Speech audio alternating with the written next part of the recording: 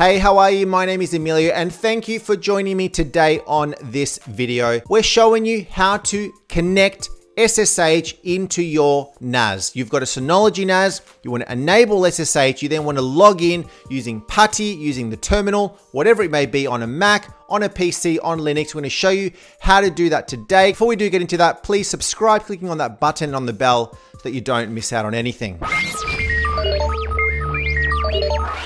So we're talking SSH on the Synology NAS. Before we do get into that, I want to let you know about a full-length training course that I've got around all things Synology NAS. In the show notes, I've got a link right there where I go into detail around the basics, how to install, how to configure, how to troubleshoot your Synology NAS, and then into more advanced features on your Synology NAS that I know that you will definitely find helpful. So do check out the show notes below so that you can get directed to that. So you wanna know how to get SSH running. How do you SSH into a Synology NAS? Of course, SSH is super, super useful when you need to do further troubleshooting, when you want to access certain features that are not readily available from the GUI, from the graphical user interface. You can use something like PuTTY, you can use something like Terminal on a Windows, on a Mac computer. You'll then get access to a lot of other stuff that you may not commonly get access to. I'm now logging into my browser. I'm just connecting into the IP address of my Synology NAS and we'll show you how to do that. From our Synology NAS, we're gonna go in our control panel over here. And in the very bottom right hand corner, you've got terminal and SNMP. And under here, you've got enable SSH service.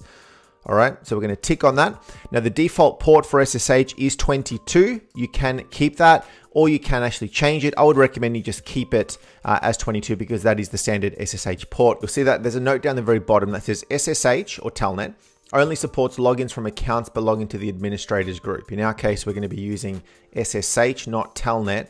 And you need to make sure that they're part of the group under here, administrators.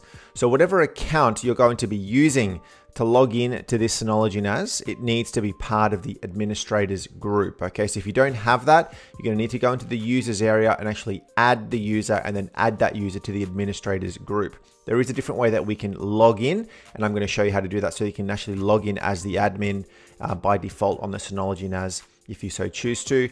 So that's that. Of course, it's recommending you to set a strong password. All right, so that is now set on a Windows computer. We're going to download and open up PuTTY. All right, so if you don't have PuTTY, you need to go and download it completely for free.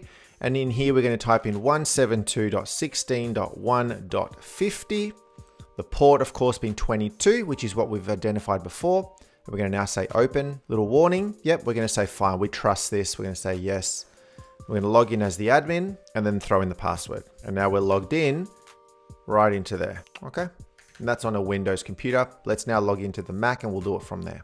Okay, so in my terminal window, because I'm doing this from a Mac, or if you're doing this from a Linux computer, then you need to create yourself a super user. You need to elevate your privileges on that computer. You're gonna do a sudo dash i and then SSH and then one, I'm gonna put my uh, username. Okay, so I'm gonna log in as the admin, which is this admin right here. Uh, and that's the admin that is a administrator member. Now what you can do before I press enter, over here, you can click on please refer to terminal for more information and you can see exactly what is required. Just going to give you some information here.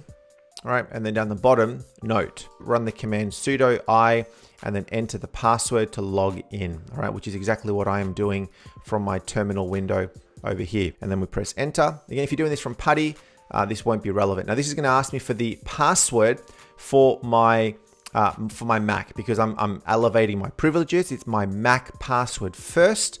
Uh, and then afterwards, it'll then ask me for the password for the Synology NAS. Okay, good. Now it's got admin at and then my IP address of my Synology NAS. And that's when you now put in the password for admin. Okay, of course, if you've got your different local admin user, you put in the relevant password for that. All right, and I'm logged in. That's it. It looks good. If it's green, we're in there. And you can do an ls. Now this is all uh, Linux. Essentially, it's a Unix backend. So you need to understand the Linux operating system, or at least the commands, to be able to actually go and navigate through this. But you can see right there, I can do an ls to sort of list all of my files. Uh, I know that all of my stuff is listed within my volume, so I can do a change directory, volume one, like so, and list, and there's all my files. So I've got change uh, directory data, and there's all of my stuff that I've got listed inside my Synology NAS. Now from within here, you, have got essentially full admin rights to the back end command line on your Synology NAS and then exit just to get out of there. Now, I would also recommend that you don't leave SSH on all the time. SSH should really only be used for administrative purposes. So as a security recommendation, I would almost say that whenever you uh, finish working on the SSH, you go back into here and you turn it off and we say apply. You can leave it on if you want. I recommend generally turning it off unless you actually need it. So SSH into your Synology NAS is now done. Thank you so much for spending the time. Really, really appreciate it. Do what you need to do across the social medias by liking, commenting, subscribing, clicking on the face right over there, and check out some of my other videos so that you don't miss out on anything around all things tech.